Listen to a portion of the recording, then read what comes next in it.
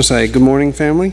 Our reading today is Isaiah 55, chapter 55, verse 1 through 5. Come, all you who are thirsty, come to the waters, and you who have no money, come buy and eat. Come buy wine and milk without money and without cost. Why spend money on what is not bread, and your labor on what does not satisfy? Listen, listen to me, and eat what is good, and you will delight in the richest affair. Give ear and come to me. Listen that you may live. I will make an everlasting covenant with you.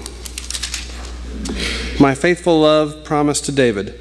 See, I have made him a witness to the peoples, a ruler and commander of the peoples. Surely you will summon nations you know not, and nations you do not know will come running to you, because of the Lord your God, the Holy One of Israel, for he has endowed you with splendor.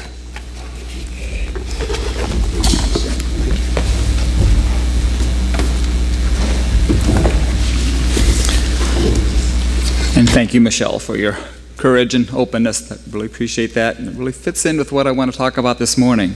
We have a society that is just obsessed with the whole concept of, of happiness. And as you contrast what the world thinks of happiness with what the Bible tells us, because the Bible speaks a lot about happiness as well, uh, there's a distinct difference. If we look at the Beatitudes, you know, that a section of the scripture that says, Blessed are the so and so, for they will so and so, it actually that, that word blessed could be the word happy. Uh, some translations actually put that word in there. And that shows us that everyone in the world, whether you're Christian or not, we have this basic desire. We want to be happy. Now, different people define happiness in different ways, but it all boils down to the same basic human desire. We all want to be happy. You ever notice anyone says, Oh, I wish I weren't happy all the time? Nobody says that. There always seems to be something that is maybe lacking in our lives that we think if we were just able to attain, then we would be happier. Now, I'm going to give you all credit this morning and just start with a premise that you already know that happiness does not come from external things. It doesn't come from being successful or rich or good looking. It doesn't come from being married or single or whether or not you have a family or whether or not you have many friends. Happiness doesn't depend on material possessions or being able to do the things that everybody in the world thinks you need to be happy, to be able to travel or to have enough time and money to do whatever you want whenever you want. If you're under the notion that you cannot really be happy unless your life is a certain way, then see me later. Okay, we'll talk. We'll start from the ground level and we'll see what we can do about getting rid of that notion. But I'm sure most of you already realize that this elusive concept of happiness has to be derived from something beyond our outward circumstances. It has to come from within. Yet it is an intrinsic human desire to want it, to want to be happy. You know, we're built that way. We all want to be happy. I think maybe the first problem is that word, happy. I believe that because of our entertainment oriented society, we've come up with an unrealistic concept of happiness. That's not even an accurate definition of the word. Know, people will ask, Are you happy? As if that were some kind of level that you can actually reach at some point. Are, are you there yet? Have you reached happiness? From childhood fairy tales to romance novels to soap operas to plays and movies, we have redefined happiness to mean that life has no more problems for you and you have everything you want. And once you've attained this level and reached that point, then you can what? Live happily ever after because you've made it. You got there to that level. And many marriages crumble and many lives fall apart because of these unrealistic fantasies of what life is supposed to be like.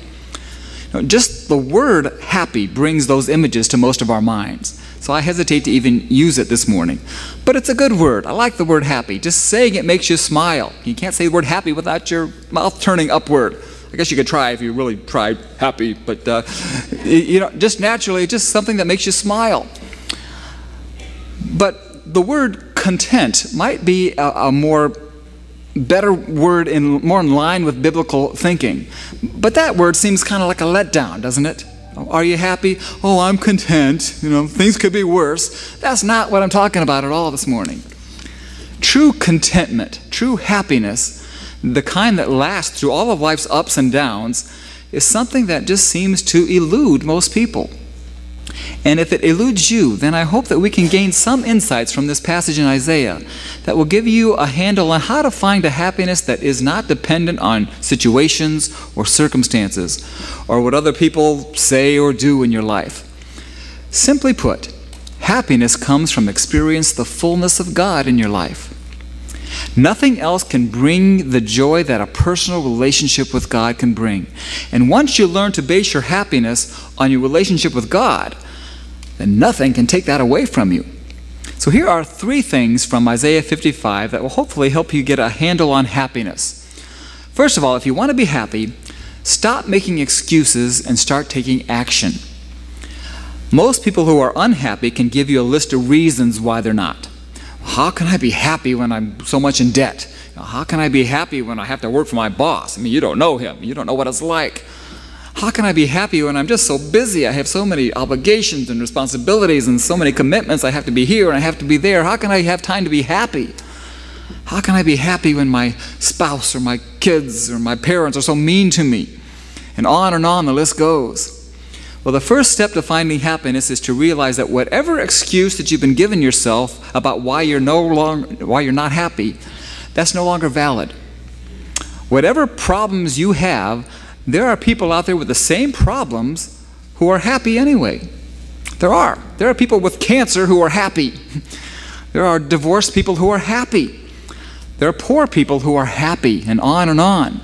And you can be happy too, but you have to stop making excuses.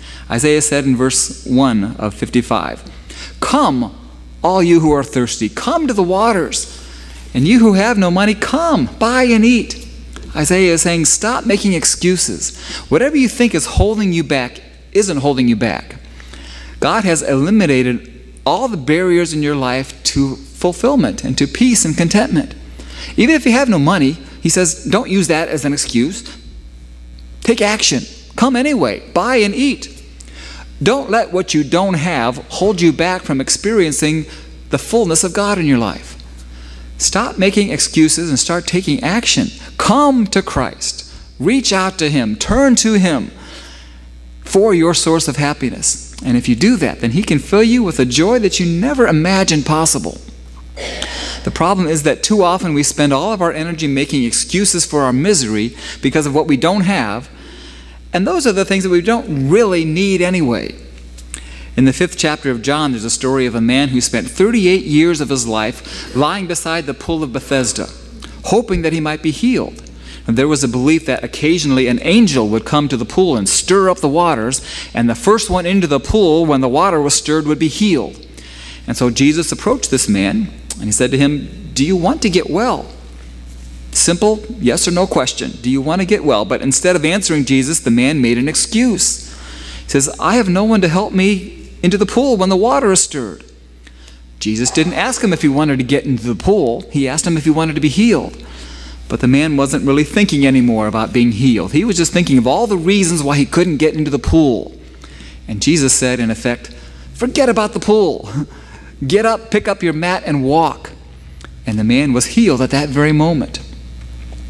Many of you today might be sitting there beside some pool thinking, if I could just get in, if I could just have this thing, or if I could just do this thing, or if I could just be a certain way, then everything would be wonderful and life would be a dream. Jesus is saying, forget about the pool. It's not the pool that you need to be happy, it's me. Come to me. Stop making excuses and start taking action and come to me. Later in the book of John, in chapter 7, verse 37, Jesus said, If anyone is thirsty, let him come to me and drink. Whoever believes in me, as the scripture has said, streams of living water will flow from within him. As, Isaiah said, Come to the water, come to the source of life and happiness, which is a relationship with Jesus Christ. So becoming happy requires taking action on your part. You're not going to just wake up one day and realize that all the pieces of your life have fallen together and all your, your problems have gone away and now you're suddenly happy. You can't depend on your wife or your husband or your children or your parents or your employer to, to see to it that, that life is working out the way that uh, you want it to work. If you want to be happy, first of all, you have to stop making excuses and start taking action to find that happiness. Come to the waters, not please somebody help me come get into the pool. Come to the waters. Secondly, if you want to be happy, you will have to eliminate some things in your life. Isaiah says in verse 2 Why spend money on what is not bread, and your labor on what does not satisfy? You know what I've noticed? That there are many people who want to be happy and they're taking action to be happy, they're making that effort, but their strategy in finding happiness is to do things that can only make them miserable. It's like saying, I want to see the sunset, and I'm going to keep looking to the east until I see that sunset. I'm not going to give up, I'm just going to keep doing it. You're never going to see the sunset if you look only to the east. And you will never find happiness if you look for it in things that cannot give it. Yet, this is exactly what many people do day after day, year after year. This is exactly what Isaiah is referring to in verse 2. Many people live their lives just the way Isaiah described, spending money on that which is not bread and spending their labor on that which does not satisfy. Two major ways that people do this. One is in destructive behavior. Some people fill their lives with self destructive activities that are guaranteed just to bring misery. We can name them you know, abusing alcohol, just spending too much money, being promiscuous, taking drugs, and on and on the list goes. And they do this thinking it's going to make them happy. Why else would anybody do those things if they think it's going to make them happy? But it doesn't, and it can't. It's spending money on what's not bread. It only leads to emptiness and, and isolation. And one of the most frustrating things about knowing someone who is caught up in a lifestyle of destructive behavior is that it's obvious to everybody but them that they're ruining their lives. Anorexia is a classic example of this. Now, to those who do not have this problem, it seems like the most ridiculous thing in the world. How can anyone so skinny be so worried about getting fat? But it's a different story when it's you or somebody that you love. I read of an anorexic who had dwindled down to 80 pounds. She had dark circles under her eyes, and her skin was the color of paste. And she said, People keep telling me that I have a problem with food. But they don't understand that the only thing that makes me happy is my ability to not eat. Well, she didn't realize, even though it was obvious to everyone else around her, that she was looking for happiness in a way that would eventually kill her and could not give it to her. Alcoholics think that they need a drink to be happy, when the fact is, is that drinking ultimately makes them miserable. Some people go from affair to affair thinking that they need it. They need a man, they need a woman, somebody to make them happy. When the fact is that sex outside of marriage only leads to misery. Sooner or later, it only will lead you to misery. In order to get a handle on happiness, we need to learn to identify those things that we are doing that are destructive and to eliminate them from our lives. And I know it sounds easy, and it's not, especially when we're talking about addictive or compulsive behavior. It's a very complicated matter. And overcoming these things involves more than just you know, turning over a new leaf and saying, okay, I'm not going to do that anymore. I know that's, that's not the case. If you are unhappy because you are caught up in some kind of addictive or compulsive behavior, you do need to know that God has the power to set you free from that.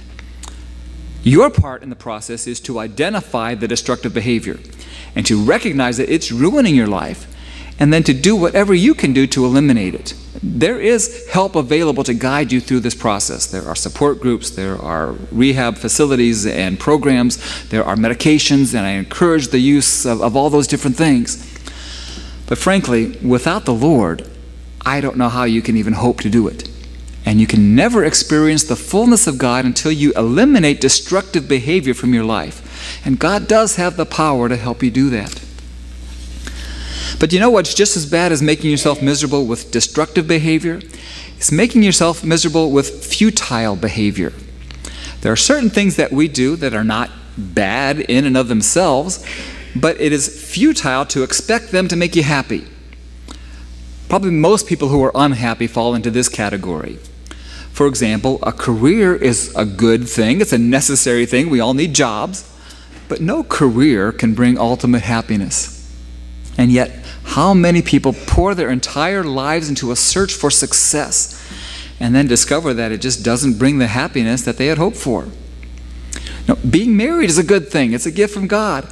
But no earthly relationship can provide that inner peace and contentment that we all need. And how many people do you know that think, if I could just meet the right person, That would be great. I would have my fairy tale ending. Movie's over, everything's good. Isn't everything always good after the movie's over? Doesn't work that way. Or someone else who'd be thinking, if I could just get out of this bad relationship, then everything would be great. Or how many unhappily married couples do you know that think, if we just had a baby, maybe that would solve our marital problems and bring us the happiness that we're looking for? A job is good, a marriage is a blessing, children are wonderful, but why look to these things to give you more than they can possibly give? Now, some of these things can certainly add to your happiness, but they cannot create your happiness for you. Isaiah says, Why spend your money on what is not bread? That's kind of a symbolic thing for what is not substance, what's not real. Jesus said, I'm the bread of life. He didn't mean he was actually bread, he meant that he was what life is all about. He's the substance of it, he's what we need. Why spend your labor on what does not satisfy? Why look for happiness in things that cannot make you happy? It is futile. The only way to find happiness is to experience the fullness of God through a personal relationship with His Son, Jesus Christ. If you're not happy right now, stop making excuses for your unhappiness and take action to get closer to God. And decide once and for all to eliminate everything from your life that's keeping you from Him and that relationship. And then, thirdly, embrace your relationship with God. I don't know where each of you are spiritually right now. Maybe some of you are here today who have never really taken any action to get to know God through Christ. Maybe your religion consists of just attending church on Sunday and, that's it. But I want you to know that there's so much more to having a relationship with God than, than what we do here on Sunday mornings. Living the Christian life is about more than just you know, doing good deeds for God, which hopefully we do as Christians. But more, it's about having that spiritual connection with God that lasts 24 hours a day, seven days a week. I mean, literally, you know, you, you, sleep differently when you're close to the Lord. If you know that, you know what I'm talking about. It really makes a difference in every hour of every day. George Gallup conducted a survey that concluded that fewer than 10% of Americans are deeply committed Christians. But the people who make up this group, according to Gallup, can be categorized as particularly influential and happy. He called them a breed apart he said that they're more tolerant to people of diverse backgrounds, they're more involved in charitable activities, they are more involved in practical Christianity, they are absolutely committed to prayer, and he said that they are far, far happier than the rest of the population. Now, we all know of professing Christians who don't fit in that category. They're just plain grumpy, who are always mad about something. There's an old joke about a guy who went to heaven, and as St. Peter led him through the pearly gates, the first thing that he saw was a complaint box. And he said, Well, if everyone's so happy in heaven, why is there a complaint box? And St. Peter said, Well, we learned a long time ago that the only way some people can be happy is if they have something to complain about. We've all known some people like that. But don't mistake what they have for the kind of happiness that God offers to you. God offers happiness that is so deep and so dynamic that the Apostle Peter referred to it as a glorious and inexpressible joy. Joy beyond words. That's what God wants for each one of us to have. And through Isaiah, he said in the second part of verse 2 Listen, listen to me, and eat what is good, and your soul will delight in the richest of fare. God's saying you don't have to look any further. You don't need anyone else. You don't need anything else. All you need is Him. And Isaiah brings the word of the Lord as, as pleading for his people to come to him. As verse 3 says, Give ear and come to me. Hear me that your soul may live. That's not just talking about, oh, you get to go to heaven one day after you die. It's talking about entering into a covenant with the Lord who, who changes the way that you live and you think. And then in the second part of verse 3, he offers David as an example of this. It says, I will make an everlasting covenant with you, my faithful love promised to David. See, I have made him a witness to the peoples, a leader and commander of the peoples. Surely you will summon nations you know not, and nations that you do not know will hasten to you. Because of the Lord your God, the Holy One of Israel, for he has endowed you with splendor. Now, this is a specific promise to Israel given to them that their nation would be restored back to the way it was in the days of David, even though it would be conquered and it, the people would be sent into exile. But he would again endow them with splendor. They would uh, once again summon nations rather than being kicked out of their own household. And that promise is for us as well. We may not be concerned with conquering nations, but we have been made more than conquerors, the book of Romans tells us. We have victory over sin and death, which otherwise had and would have defeated us. We share in the riches of God's kingdom. So come to Christ and your soul will live. He's saying that He can give you happiness above and beyond anything that this world has to offer. God wants to fill your life with good things. He wants you to live and not just survive. Jesus said in John 10:10, 10, 10, "I have come that they might have life and have it more abundantly." And he means that. So embrace your relationship with God. Follow Jesus, talk to him, listen to what he says to you through his word, and put your hope for happiness in nothing else but him. And he'll give you a happiness that is beyond words. It's not the kind of happiness that you hear about in fairy tales or, or soap operas, you know, because that's not even real. The only way to get a handle on happiness is to experience the fullness of God in your life through a personal relationship with His Son, Jesus Christ. That is what is real. If you are unhappy right now, stop making excuses for being unhappy and start taking action to experience the joy that God wants for you and has in store for you. Ask Him to help you eliminate those things in your life that are keeping you from experiencing His fullness, things that are perhaps destructive or futile and simply embrace your relationship with God. Cling to God as if He were your only hope for happiness, because He is.